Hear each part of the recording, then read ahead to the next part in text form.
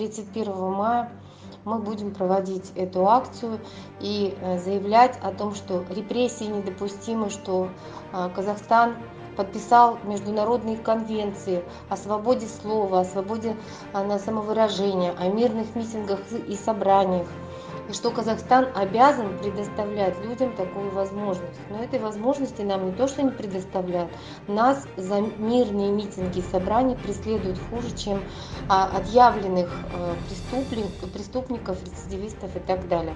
Поэтому, конечно, с этой проблемой надо бороться. И мы будем делать эту акцию таким образом. Конечно, можно проводить эти акции всей семьей, можно проводить с друзьями, можно проводить а, там с детьми, как это у нас обычно бывает, потому что мы все казахстанцы казахстанцы, мы все граждане этой страны и все одинаково обеспокоены.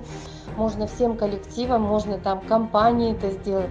Но это в любом случае нужно делать а, в 13.00 по времени Алматы, то есть чтобы мы все в единое время вышли 31 мая в эфир. Также для того, чтобы было понятно, что это единая акция а, гражданского общества против а, пыток, репрессий, в День памяти жертв политических репрессий, мы решили, что должен быть какой-то опознавательный признак, и таким признаком предлагаем взять голубой и белый шарик. И тогда у нас получится, что мы в час дня берем в руки голубой и синий шарик и выходим в прямые эфиры и транслируем эти эфиры со словами, с какими-то месседжами в честь этого дня.